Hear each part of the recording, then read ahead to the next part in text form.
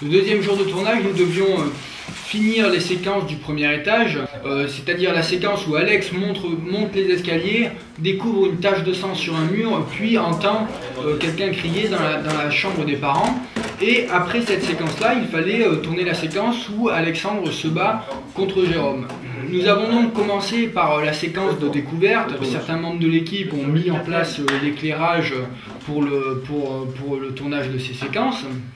Et puis à midi, nous avons donc attaqué par le tournage de la séquence donc d'Alexandre qui monte les escaliers puisque cela permettait d'avoir encore une fois un seul personnage avant que euh, que n'intervienne le personnage de Jérôme. Donc nous avions vraiment, euh, pendant que Laura euh, maquille Jérôme, nous faisions tout cela et ensuite est venue donc la séquence de Jérôme. Donc nous avons tourné la séquence de façon chronologique, c'est-à-dire que nous avons commencé par le personnage d'Alex qui entend un bruit au, grenier, puis euh, la porte qui s'ouvre avec euh, Jérôme qui sort de la salle de bain, et nous avions donc un, panoramique qui passait d'Alexandre au personnage de Jérôme, et Alexandre qui courait vers Jérôme pendant que celui-ci euh, montait l'escalier.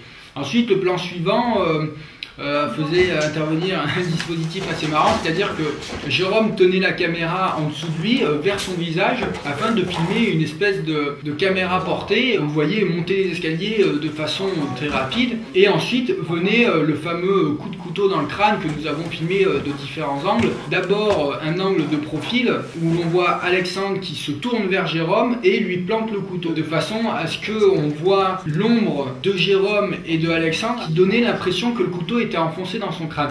Et enfin, nous avons fini avec euh, l'insert euh, du couteau qui se plante dans le, dans le crâne de Jérôme et qui ressort. Et là, le dispositif était, euh, était assez rigolo, puisqu'en fait, il s'agissait d'une éponge sur laquelle Laura avait, avait, avait cousu une, une, prothèse avec le, le trou du, du, du, crâne. Et cela nous permettait d'enfoncer le, le, le couteau dans l'éponge et de le ressortir.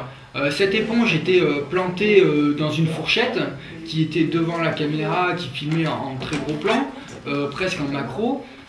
Et en plus, il y avait une seringue derrière l'éponge qui était actionnée par un technicien et qui faisait gicler le sang au moment où le couteau ressortait de, la blessure. Et puis, pendant que nous démontions l'installation lumière et que Colin et Bastien nettoyaient tout le premier étage, puisque nous avions tourné tous les plans qui se passaient au premier étage, il a fallu que, Cédric et Olivier mettent en place l'éclairage de la cave, puisque nous tournions euh, la cave tout de suite après, histoire de libérer encore cette pièce euh, dont nous n'aurions plus besoin de, retourner euh, ensuite. Donc l'éclairage de la cave était vraiment un éclairage très difficile à mettre en place, puisque la hauteur sous plafond n'était pas, très, grande, puisque c'était 1m90, donc il fallait clamper les mandarines les différents projecteurs, plus les drapeaux pour couper les faisceaux euh, sur les poutres en faisant en sorte que, euh, que lorsque nous tournions, nous ne les ayons pas dans, dans le champ, plus euh, tous les câbles qu'il fallait faire passer par un chemin de câble. L'éclairage était vraiment très très compliqué,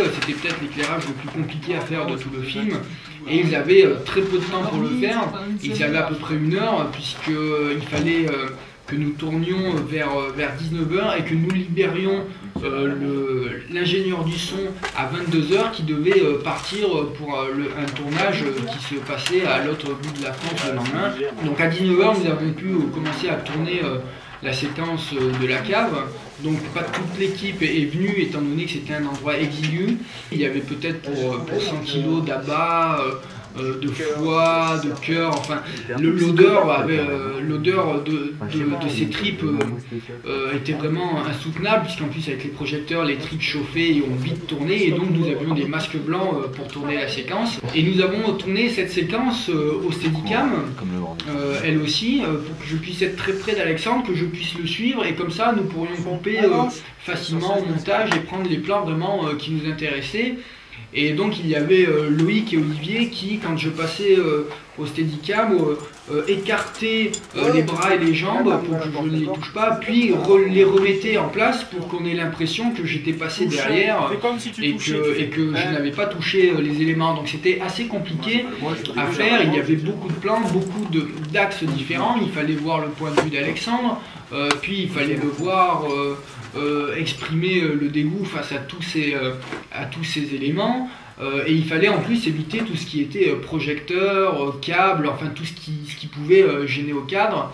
Et nous avons finalement tourné cette séquence assez rapidement, puisque nous avons mis les 3 heures, et nous avons donc fini la journée un peu plus tôt que d'habitude, puisque nous avons fini à 22h, mais il fallait tout démonter. nous voulions vraiment nettoyer euh, euh, toutes, les pièces qui ne serviraient plus. Donc finalement, nous avons quand même euh, terminé avec le démontage et le rangement du matériel. Nous avons fini à 2h du matin, puisqu'en plus, après, avec Loïc, nous dérochions le film pour voir si tout allait bien.